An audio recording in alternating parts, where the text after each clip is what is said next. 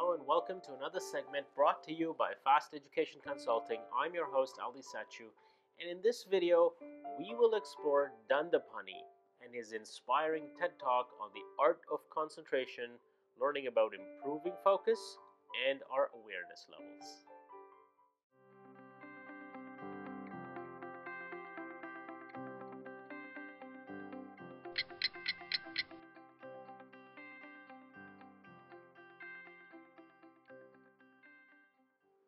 fastedu.ca inspiring. Great minds. Okay so not quite the typical subject matter on this channel but very relevant to international students and of course to anyone else that wants to benefit from these simple tips on the art of concentration. I often question my focus and concentration at times of reflection and find my awareness wandering which is why i chose this subject for exploration today let's begin and dissect the talk to relate it in our space and see maybe we, what we can learn from it. What is Dandapani all about here when he talks about the art of concentration?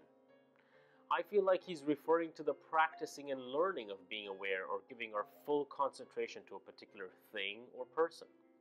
Now, I always find myself distracted by technology, and especially with all the alerts on our phones these days, it's become very difficult to give our 100% to any particular thing. Besides, some of us, you know, talk about multitasking, and in fact, some of us also have it on our resumes as a skill set. These notifications that tell us when to look at our phone makes it very easy to be distracted, and sometimes it's a necessary evil. It also makes us very good at being distracted because we practice it every day. In other words, the technology is choosing for us when to be distracted versus us choosing when we want to engage with the technology. Now, unlike Dandapani, I'm not suggesting that you turn off your notifications, rather, be in control of when you look at your notification. It's certainly what I'm going to start doing and practicing, and I am no longer going to look at every, every alert on my phone. Rather, I will practice full focus uh, and be cognizant about my focus levels. The key to focus and concentration, I think, is to learn it. We're never taught it at an early age, uh, but we're told to concentrate. You know, we tell our children to concentrate. And worst, we don't practice focusing or keeping our awareness levels in one place. Rather, like I mentioned earlier, we practice being distracted, which makes us very good at being distracted. After all, practice makes us perfect, right? Here's a method that Dandapani teaches on practicing and keeping your awareness in a particular situation and improving concentration. He actually uses the analogy of a good movie that can take you through different feelings such as horror, suspense, uh, happiness, sadness, excitement.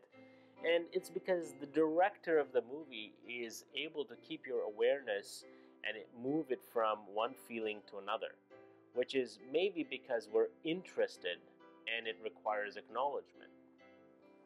Let's do this as I wrap up this video. Let's try using meditation techniques to practice. Next time we talk to someone, let's consciously be acknowledging it that we're going to give them 100% of concentration. To go through this practice, might I suggest you watch the video in the description which will give you more details and an example on how to learn and practice your concentration skills by focusing your awareness levels. This is critical to both our success and I really wish you all the best in acquiring this skill set as I try exploring it and acquiring it myself. Until next time, fastedu.ca, inspiring great minds.